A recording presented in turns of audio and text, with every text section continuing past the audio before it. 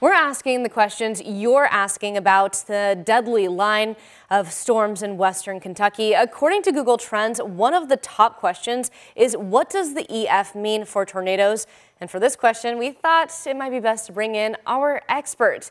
TG, what can you tell us about this? Well, the uh, EF scale is the Enhanced Fujita scale, and that's a scale by which, uh, based on the damage that's how the estimated winds of the uh, tornado is measured. Now, this was first developed uh, back in 1971. Dr. Ted Fujita, professor at the University of Chicago, came up with the original F scale. It was implemented by the National Weather Service in 1973, and ironically, the first big event that the F scale was used on was the super outbreak in 1974, which of course ironically was our deadliest Kentucky tornado outbreak until this past Saturday, Friday night into Saturday. Now, in the early 2000s, meteorologists and structural engineers got together uh, to try to improve the accuracy of determining the wind speeds in these tornadoes. So they developed 28 damage indicators based on the type of building, mobile home, uh, home with siding, a brick building, a strip mall, a large mall, a restaurant, you name it, transmission towers, and even trees,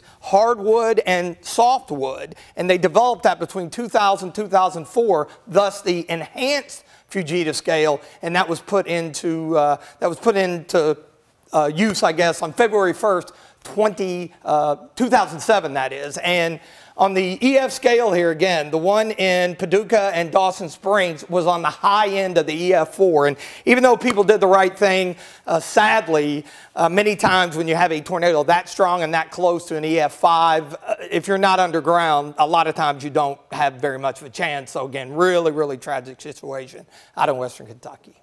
It's definitely scary. And TG, another question. People are looking up how far did this tornado travel? Well, that is still to be determined for the entire track, but we do have an official length here in Kentucky. It was 163.6 miles uh, in the Commonwealth, and that is a state record. It, that went from uh, the community of Cayce, which is in far, far western Kentucky and Fulton County. And of course, we were tracking it up through, uh, of course, uh, Mayfield, Dawson Springs, and then it just snuck into our far western part of our viewing area around McDaniels there, uh, around Rough River. And uh, that's where it finally lifted, uh, but that's right on the Breckinridge and Grayson County line. But there are still storm surveys that have yet to be done by other National Weather Service offices in those other three states. And once we see that, it could be anywhere between 220 to maybe even 270, and the record is 219 miles.